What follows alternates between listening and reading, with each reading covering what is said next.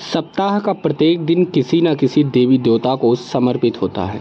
तो वहीं शनिवार का दिन भगवान शनि की पूजा आराधना के लिए सबसे उत्तम माना जाता है। वैदिक ज्योतिष शास्त्र में शनि की चाल व्यक्ति की किस्मत पलट सकती है।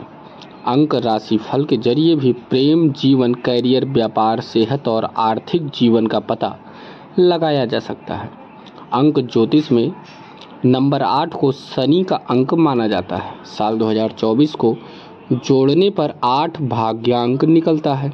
ऐसी स्थिति में साल 2024 का साल शनि का साल माना जा रहा है।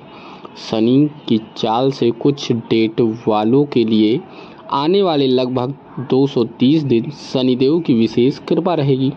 तो चलिए इस रिपोर्ट में जानते हैं कि अंक साल के अंत तक किन मूल्यांक वाले पर शनिदेव मेहरबान रहेंगे? दरअसल अयोध्या के ज्योतिष पंडित कलकीराम बताते हैं कि ज्योतिष गणना के मुताबिक आठ नंबर अंक शनिदेव का अंक माना जाता है।